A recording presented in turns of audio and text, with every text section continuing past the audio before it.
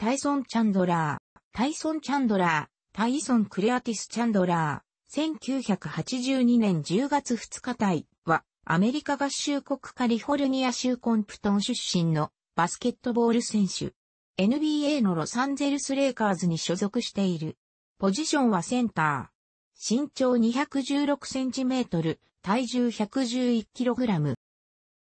チャンドラーがバスケットボールを始めたのは14歳からだが、その頃にはすでに身長を2メートルを超えていた。高校はドミンゲス高校に進学。チームメイトのテイショーン・プリンスと共に同校を州チャンピオンに導き、同校は全米ランキング1位に輝いた。チャンドラー自身は4年生の時には26得点15、リバウンド8ブロックのアベレージを残し、パレード誌、USA トゥデイ誌、マクダナルズオール、アメリカンチームに選ばれた。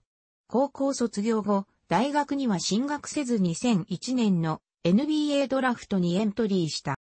ドラフトにてチャンドラーは、ロサンゼルスクリッパーズから1巡目に指名という高順位指名を受けるが、ドラフト当日にクリッパーズとシカゴブルズとの間でトレードが成立し、チャンドラーはブルズに入団した。クリッパーズ側の高卒ルーキーであるチャンドラーとブライアン・スキナーに対し、ブルズ側のエルトン・ブランドというトレード内容は、チャンドラーに対するブルズの期待の高さが伺い知れることとなった。また同じく高卒で同年に、ブルズ入りしたエディ・カリーと共に将来を嘱望され、ブルズの伝説的プレイヤーであるマイケル・ジョーダンの背番号23にあやかって、カリーは2、チャンドラーは3の背番号を与えられた。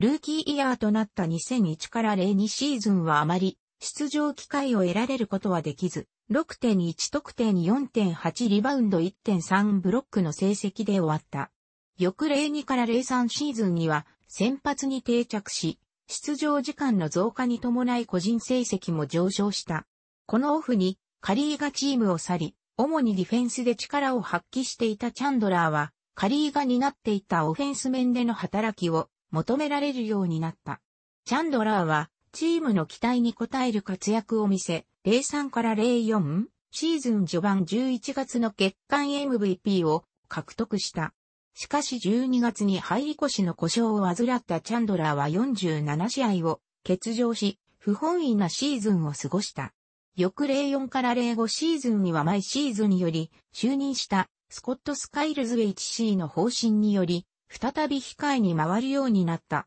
チャンドラーは平均9本以上を稼ぎ出す有力なリバウンダーへと成長し、このシーズンの上段時代以来となるプレーオフ進出に貢献したが、一方で、オフェンス力はなかなか向上の気配を見せず、チャンドラーに対するドラフト当時の期待は徐々に薄れていった。05から06シーズンも2シーズン連続でプレーオフに進出したが、プレーオフではわずか平均17.3分間の出場時間しか与えられず、平均得点は1.8得点だった。このオフ、ブルズはディフェンスのスペシャリストである名センターのベン・ウォーレスを獲得。チャンドラーはトレードに出されることになっ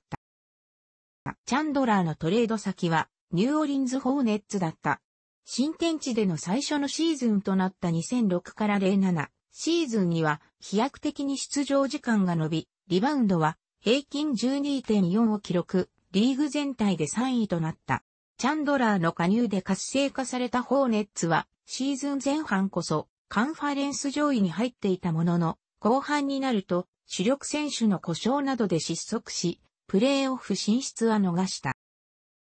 翌2007から08シーズンは、オフェンスでも力を発揮するようになった。チームのエースクリス・ポールとのピックロールからの得点は、ホーネッツにとっての重要な得点源の一つとなり、特にポールのアシストから繰り出されるチャンドラーのダンクはリーグでも最も阻止が難しい得点ラインの一つとなった。得点アベレージは初めて2桁を突破し、11.8得点11.7リバウンドの成績を記録。FG 成功率62.3%はリーグ3位の記録だった。主力選手が大きな怪我なく、過ごしたホーネッツは、チャンドラーの成長やポールの目覚ましい活躍などに後押しれ、56勝26敗と大躍進を遂げ、プレーオフではカンファレンス準決勝まで進出した。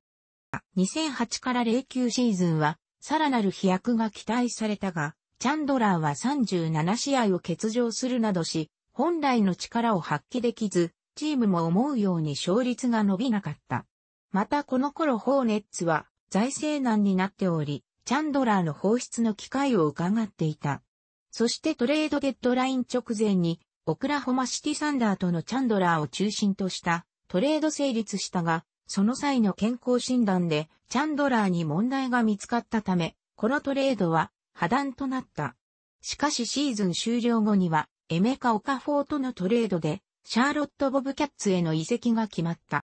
ボブキャッツ移籍後、インサイドの主力として期待されたが、怪我の影響で51試合の出場に止まった。シーズン後、エリック・ダンピアートとのトレードで、ダラス・マーベリックスに移籍した。マブスは2006年の NBA ファイナルに出場後、4シーズン、カンファレンスセミファイナル進出が最高の成績であった。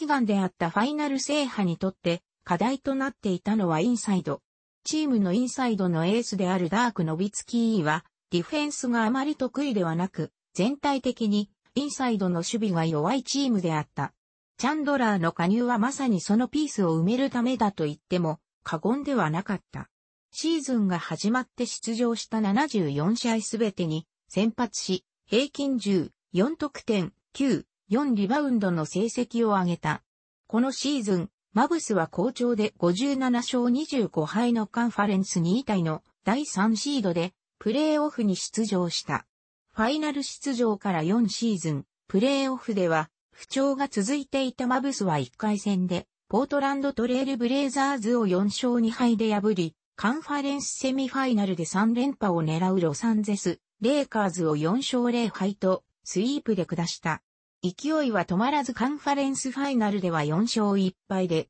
オクラホマシティサンダーを破ってマブスは5年ぶり2度目のファイナルに出場した。ファイナルの相手はくしくも5年前と同じマイアミヒートだった。ヒートはレブロン・ジェームズ、ドウェイン、ウェイド、クリス・ボッシュのビッグ3を擁し、優勝候補筆頭とも言われていた。マブスは、はじめのアウェー2試合を1勝1敗とし、ホームに戻るも3戦目に敗れ1勝2敗となった。しかし、残りホーム2試合を連勝し、3勝2敗で再び、マイアミに乗り込んだ6戦目105から95で勝利し、マブスは、悲願の初、優勝、チャンドラーも初のチャンピオンリングを手に入れた。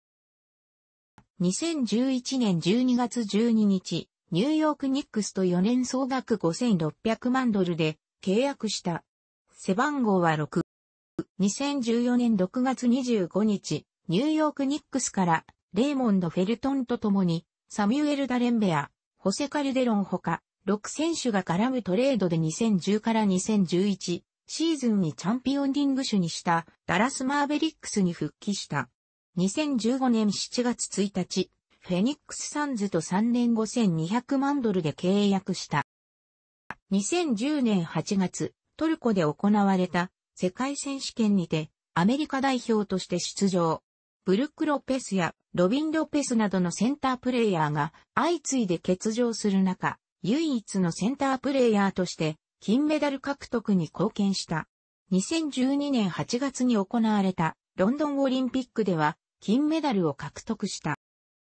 ディフェンスで才能を発揮するビッグーマンで恵まれたサイズと俊敏性でリバウンドを量産する。特に、オフェンスリバウンドの争いでは、無類の強さを誇る。オフェンスでは、ダンクシュートを主としており、忘れた頃にやってくる、アリウープダンクは、相手チームにとっては脅威である。楽しくご覧になりましたら、購読と良いです。クリックしてください。